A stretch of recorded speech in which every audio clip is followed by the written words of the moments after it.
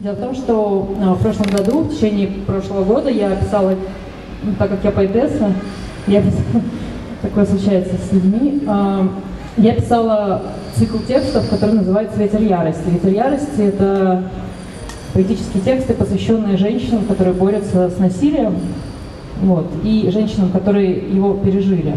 Вот, на данный момент э, я напечатала более тысячи экземпляров, и я сегодня посчитала, э, я потратила около 80 метров на то, чтобы этот зин сшить. Вот. И на обложке э, изображена великолепная совершенно вагина, э, прекрасная поэтесса, которую написала прекрасная поэтесса э, Люб Макаревская, Люб Макаревская, и мне помогла этот зин, собственно, сделать, э, сверстать из-за того, что я это делать не умею. Алена Левина, вот ее здесь нет, к сожалению. Я еще скажу, что я изначально думала, что я напечатаю небольшой тиражик, там 100-200 экземпляров, и все закончится, но сейчас э, книжки уже есть в Хабаровске, в Америке, в Германии, в Казахстане, в Бишкеке, в общем, э, по всей России, по всему миру, может быть, даже на, в открытом космосе когда-нибудь они появятся, если там появятся такие, как мы, и такие мужчины, как у нас. Вот. Э, и и, собственно, когда я думала, что все закончится, все не закончилось, тогда я решила сделать небольшую акцию, которая называлась а, «Ветер ярости. Последний рывок». И делала ее в Петербурге. Мы с э, группой феминисток в течение 16 часов печатали ЗИН. А, но мы напечатали около 500 штук, и они сразу буквально тоже разлетелись, и поэтому последний рывок не получился, и я до сих пор, вот вчера я села, напечатала, и мы с Лавитой их собрали. Вот. Э, я прочитаю один текст из него, э, самый, он самый длинный, ну и он такой центральный из, из э, подборки. Вот, да, еще важно, что я его делала как подарок 8 марта на, для женщин, и этот ЗИН, он совершенно бесплатный для женщин, мужчинам он не полагается, но в ближайшем будущем я планирую сделать Uh, limited edition, все дела, uh, на очень дорогой бумаге, с очень дорогой печатью, за, за очень большие деньги для мужчин, чтобы они его покупали, а я потом отдала деньги в кризисный центр для женщин. Вот. И текст я сейчас прочту. Он там минут на 8, наверное. Они спят под землей, как большие усталые звери. Кроты и землеройки кормятся их потом и отмершей кожей. Я слышу, как они дышат под сухой безродной почвой. Иногда в степи можно увидеть в песке дупла между кустами колючек. Это ходы кислорода к древлющим их ноздрям.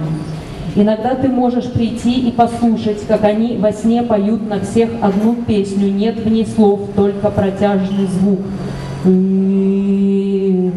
Они спят, они ждут, когда сухая земля в рытвинах, воспаленная от их шага, прикоснется к небу.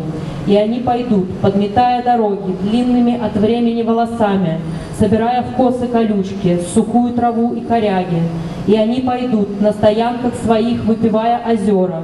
И пойдут они, подоткнув полы юбок за пояс. Каждая пойдет, выдыхая воздух безгрудой грудью и выдыхая сизый дух ярости и разрушения. И они пойдут, оставляя следы, все эти женщины, изуродованные насилием, убитые, заморенные чувством вины, униженные, сломанные, лежат в земле, идут по земле в сад за детьми, плодами домашнего насилия, в магазин за хлебом и молоком, чтобы накормить своего насильника, усаживаются на раздутые члены под шепот, а говорила не хочешь, глянь, какая мокрая стонут от боли, пронизывающей вагину. Все они лежат в земле, могут идти по земле, могут спать, могут пить чай на кухне, проглатывать липкую сперму. Все они под землей в темноте. И нет языка, которым опишешь ярость. Она спит, как уставшее животное, в их сердцах.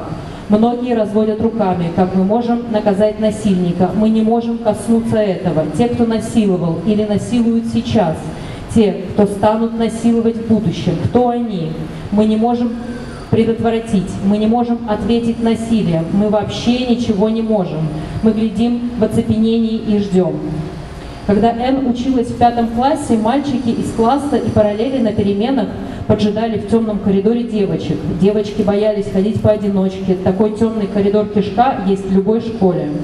Мальчики, а в пятом классе это 10 и 11-летние дети, поджидали своих одноклассниц по трое придавливали их к стене, задирали им юбки и, за, и залезали руками в трусы. Крики девочек заглушал шум перемены. Крик растворялся. Когда девочки рассказали об этом учительнице, она улыбнулась и ответила, «Вы им нравитесь, вот и все». Нечувствительные к насилию объясняют его симпатии или отрицают его существование. Когда девочки не нашли защиты взрослой женщины, несколько из них спрятались в углах коридора. Это называется ловля на живца. Одна из них была живцом. Она ходила по коридору туда и обратно, всю получасовую перемену, пока маленькие насильники не пришли. Они пришли и окружили ее, прижали к стене, и тогда другие девочки вышли из темных углов и дверных проемов. Они подошли со спины к маленьким, к маленьким насильникам и били, били, насколько хватило сил, лили им на головы из сок из маленьких тетрапаков, плевали им в лицо, Маленькие насильники плакали и жаловались родителям. Было разбирательство. Маленькие насильники кричали «Это несправедливо».